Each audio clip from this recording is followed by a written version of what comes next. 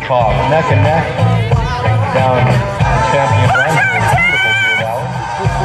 And again, our thanks to Deer Valley for hosting this great event for What a beautiful ski area and how wonderful it is to be here at Deer Valley.